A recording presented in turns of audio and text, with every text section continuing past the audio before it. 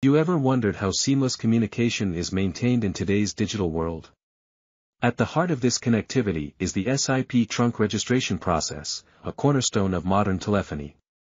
Without proper registration, calls drop, messages fail, and business comes to a halt. Let's explore how SIP trunk registration ensures uninterrupted communication. The process begins when the user agent reaches out to the SIP registrar server. Authentication is key, as credentials are verified to secure the communication line. Once authenticated, the SIP trunk is registered, and the path for data is clear. This registration is not a one-time event but a continuous check ensuring reliability.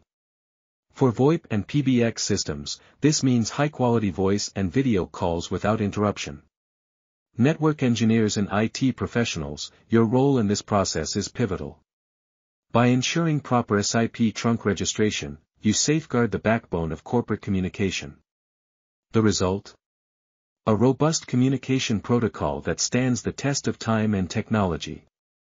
As we embrace digital transformation, SIP trunk registration remains a critical enabler. It's the silent hero in the background, keeping our world connected and our conversations flowing. Join us in mastering SIP trunk registration, and lead the charge in communication excellence. Softtop, where innovation meet connectivity.